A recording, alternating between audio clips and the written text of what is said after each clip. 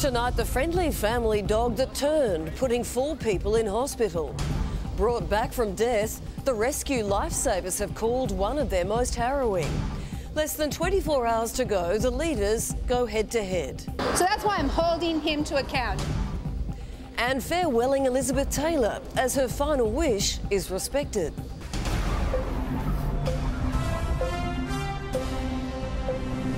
This is the 10 Evening News with Sandra Sully.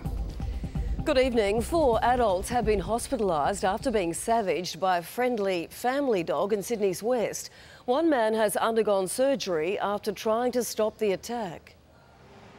Buster the Golden Retriever looks harmless enough, but blood smeared across his coat tells a different story. This morning he attacked four people inside this Belfield home. We heard screaming and barking coming from the house. It was actually pretty loud screams. The neighbours rushed in to see what was going on.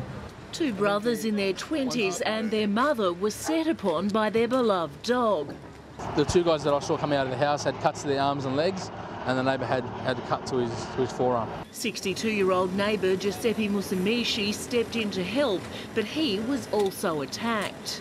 And my dad's a great person and he'd help anybody in need, and that's why he's in hospital. All four were taken to hospital with hand and arm injuries. Now they're good kids and good dogs, so I don't know why they, um, you know, turned on their owners.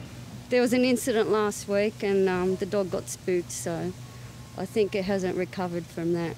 This afternoon, Buster spent almost six hours locked in the backyard before being taken away by council officers.